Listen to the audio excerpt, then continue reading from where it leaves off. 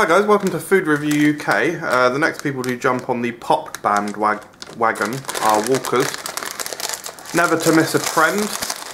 Um, you know, similar in product to the pop chips that we've seen, and uh, also Tesco doing their own brand. Ah, these look actually somewhat different.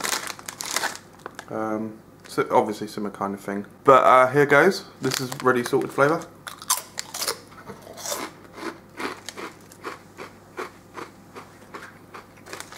You don't get many in the bag, I should point out.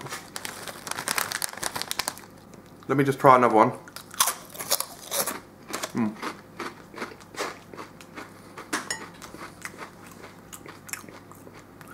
The one thing that's good about them is the texture is very consistent uh, across the whole thing. Uh,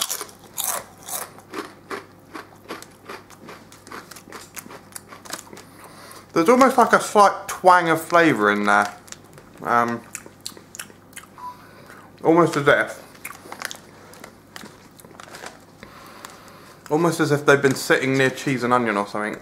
Um,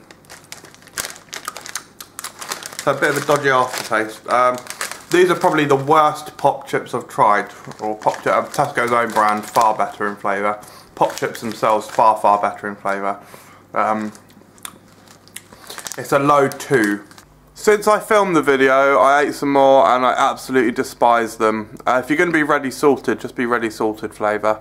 Uh, it's got this weird flavour powdering on the outside which tastes horrible.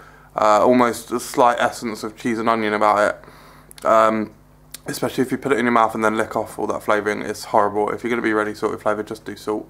No need to put any powder on it. Uh, I'm actually going to go as far as to say zero stars. Wouldn't eat it. Rather die than eat it. I don't think they're all that great, unfortunately, I'm sorry to say.